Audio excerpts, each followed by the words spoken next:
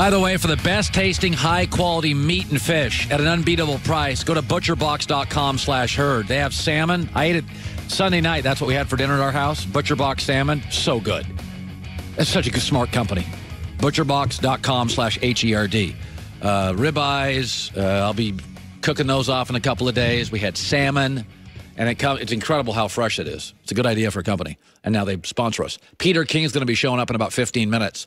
Um, I've said before when it comes to the media, uh, people talk about the media having a bias. I don't worry about the fans having a bias. Fan is short for fanatic. I don't hold the the fans to the same level that I do the media. Fans are crazy. That's what makes sports great.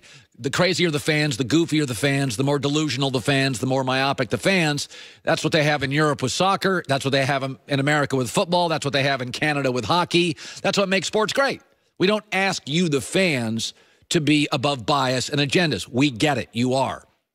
But the media in my life has gotten more agenda driven. Uh, used to be you had newspapers, veteran reporters. Now you got bloggers. Half of them are just fans. I mean, you can't even, honestly, half the people are in the media today, you couldn't give a press credential to a legitimate event. And what I've noticed is the bias, uh, I'm going to say this, against New England. Uh, America's most popular sport is the NFL. It's not even close.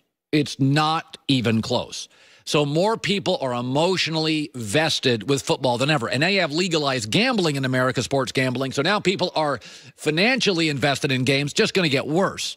But here's a story that is getting no coverage, and it would get massive coverage if it happened in Foxborough. Tom Brady against Kansas City throughout the game, there was a laser. These are illegal if you did this to a pilot. It's a federal crime. He had these lasers being pointed at his face during the game. There's multiple videos. Now, it's not the end of the world, but can you imagine the media coverage if this happened to Patrick Mahomes in Foxborough? It would lead every network. It is literally not being covered. It is a non story except our show. Nobody's talking about this. Proving once again the agenda and bias against New England they have created such resentment because they've earned, they have the best coach, they have the best quarterback. I mean, ask yourself when you watch Kansas City. They, eh, let's hold on. I mean, the Patriots have their their their their short list. Okay, so let's incidents. go. I'm glad, I'm glad you bring up Deflategate, which, by the way, with Blake Bortles or Ryan Tannehill would be a one day story. And the other thing? Yes, they taped practice, which everybody does, but they came out. But they got caught. Well, everybody tapes, every team tapes the other team during games. The Patriots went, why can't we tape the sidelines and match it with the plays, which you're not allowed to do, although it wasn't written down that it was illegal. But the league said, we don't like that you're doing it because they were one step ahead. Deflategate, it should be noted, the Patriots have been better, and Brady's been, been better post Deflategate. So it became a two year, and at the end, it sounded like a witch hunt. Blake Bortles, that's a one day story. Kirk Cousins, it's a one day story. Ryan Tannehill, it's a one day story. Teddy Bridgewater, it's non story. So every Patriot story starts from an unhealthy place. They're guilty. New England's guilty. New this story, if it was in Foxborough and that was Patrick Mahomes, it would lead every single blog, newspaper, sports network. Nobody's talking about it. Now, I don't think it's the end of the world, and I don't blame the Kansas City Chiefs because it's just some random idiot person. I'm not blaming anybody here. It's just somebody with really, really, really bad judgment. But if it was reversed, it proves a point is that every story with New England now comes, the starting point is they're guilty. You're 100% right. If this was the Patriots, it would be uh, Lasergate. It would be Lasergate. It would have gate. It would be Lasergate. It was Spygate, Deflategate, and this would be Lasergate. So we're getting to a point now that their superiority has created an agenda, a bias, and a resentment that's not even healthy anymore. That's not even fair. Again, when Deflategate came out, I was very critical of New England. And then I started noticing Brady was better post Deflategate. New England's dynasty's been stronger post Deflategate. It had zero to do with anything, but lasted two years. So it, it is interesting. The media's bias, by the way, is not just in what they say, it's in what they cover.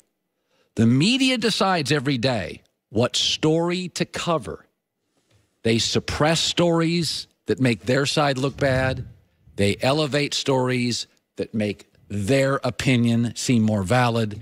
This would be a huge story if you reverse quarterbacks and reverse locations. Joy Taylor with the news. No, no, no, no. Turn on the news. This is the Herd Line News.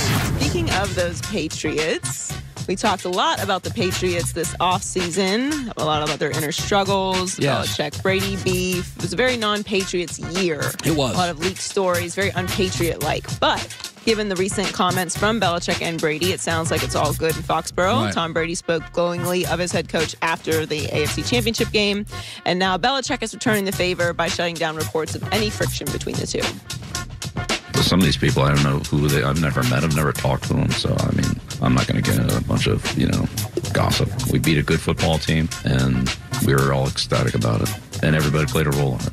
And certainly Tom played a big role, and you know we've had a long and very productive relationship, and felt good about it after a win like that. I, mean, you I know don't know how you could not. I'm very ecstatic about it.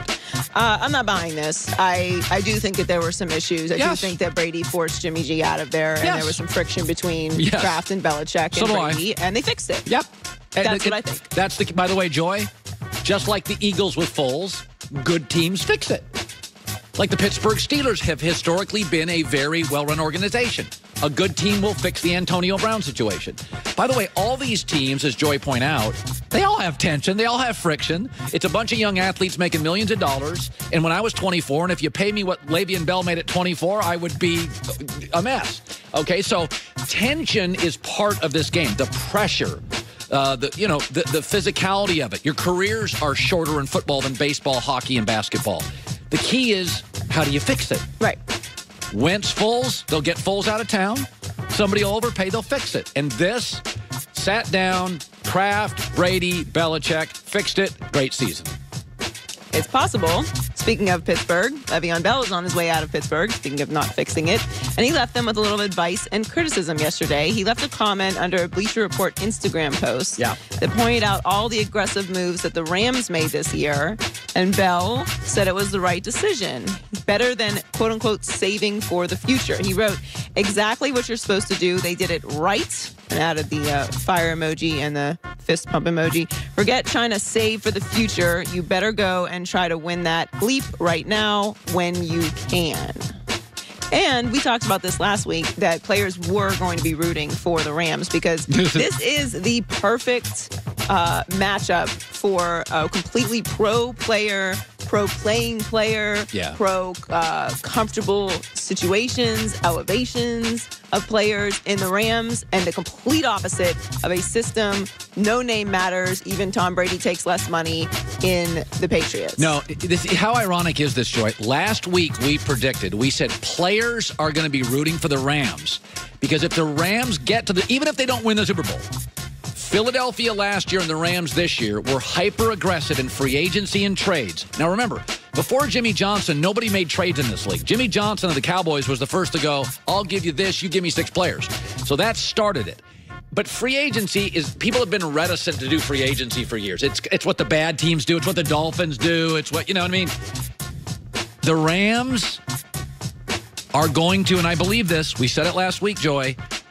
Free agency in the NFL is the one place they've always been way behind the NBA. This March, It- it's it's going to be a different situation. it's going to be like an NBA free agency. You know how many- 'cause there's a lot of really high profile big names, and there's some there's at least two Super Bowl quarterbacks who are going to be we're imagining on the market in Yep. Foles and Flacco, and we Yep. don't know what's going to happen with Eli Manning, even if you think it's the end of the road for Eli Manning. Still, Eli Manning won two Super Bowls. March is going to be March has always been a good sports month. March and October are great months.